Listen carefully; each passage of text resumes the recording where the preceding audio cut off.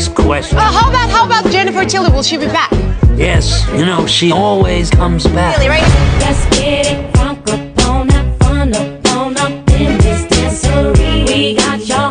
now. You're